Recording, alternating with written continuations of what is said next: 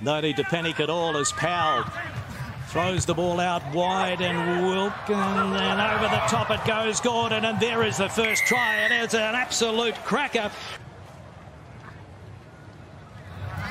And that's a nice strike. Wilkin, pick and go, six out. Boys, he's fine. Back here, five blue collapsing. It's the same play every time, it's a yellow card. So Hanson has it. They set it up nicely. He can see the line. He's over. Once again, it's a nice strike. Matawalu, Munce. Now it's out to Ratave, and he's in. Onisi Ratave runs it around, puts it down. The Fijian Drua. These players can't wait to get to Suva and play the Highlanders April 30, the only game to be played in the regular season in Fiji. So there was an opportunity for a counter up from the Rebels. And again, another ball line out. And has Mira Mira got the pace to get away? Yes, he has. The flying Fijian. The Drua, they're playing advantage. Here it is.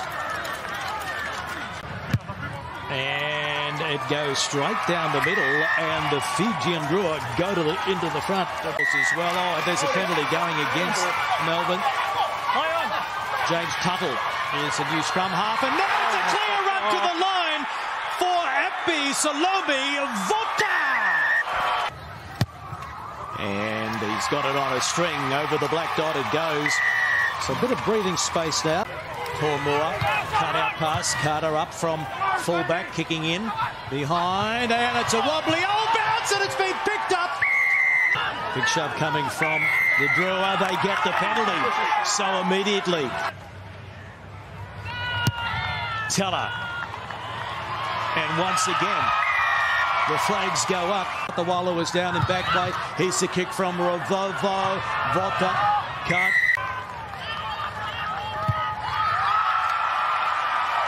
Scrum half, Josh Vuta. Will he get an opportunity? Here's a penalty. Well, they had scored 13 points in total in their first two games, and now Teti Tela sends it down the middle again. Tolmore.